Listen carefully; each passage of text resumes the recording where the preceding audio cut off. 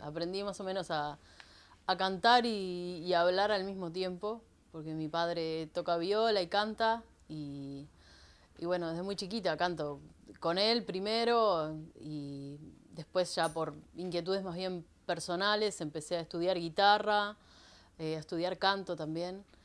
Eh, cuando tenía 15 años eh, di una prueba y entré a, a la Antimurga BCG, con quienes hice carnaval un montón de años eh, y fue una escuela súper importante para mí.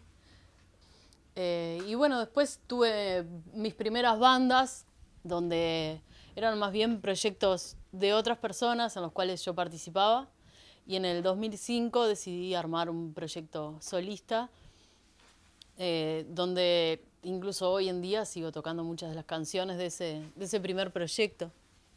Eh, empecé a estudiar canto con 16 años. Eh, ahí cuando hice carnaval con la BCG era muy exigente a nivel vocal, sobre todo por la cantidad de, tablados que hacíamos por noche. Este, entonces eh, me cansaba muchísimo y me di cuenta que necesitaba, si quería realmente cantar profesionalmente, educar mi voz como para no perjudicarme también, ¿no? Creo que actualmente en Montevideo y, en Uruguay eh, hay, hay unas, cuantas, unas cuantas propuestas que van por el lado del, tango, de la milonga, de, este tipo de música que nos identifica mucho como uruguayos y, en el Río de la Plata en general.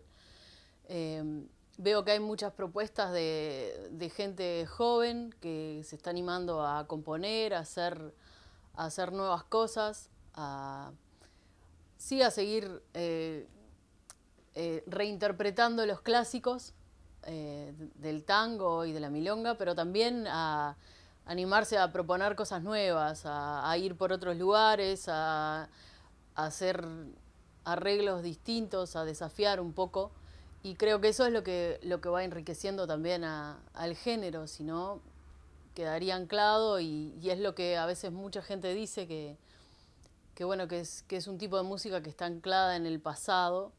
Y yo creo que eso no es cierto en la medida que nosotros seamos actores eh, participantes, ¿no? que, hagamos cosas que, ayuden a que, a que se mueva. Son dos conciertos que, son como el cierre de, un ciclo. Eh, nosotros sacamos en 2012 eh, el último disco que se, se, llamó De Saltos y otros vientos.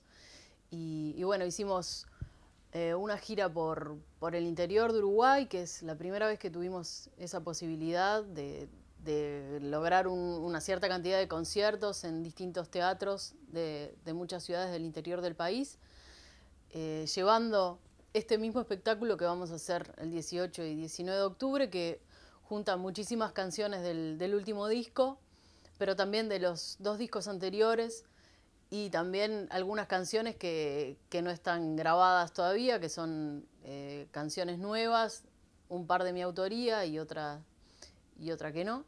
Este, y bueno, eh, el espectáculo este reúne todo eso y, bueno, estuvimos de gira por Europa también con el, con el mismo espectáculo. Eh, y bueno, es, una forma de volver a Montevideo, cerrar eh, el año, porque es el, último concierto que vamos a hacer convocado por nosotros. Este, y, bueno, eh, reúne todo eso, vamos a estar con toda la banda, obviamente, que son los músicos que me acompañan, que grabaron el disco y que me acompañan siempre en todos los shows. Y, y bueno, lo que hicimos en este espectáculo, Milongas, Tangos y otros vientos, lo hicimos en el interior, lo hicimos en Europa también, que nos llevamos una sorpresa divina porque la gente se animó.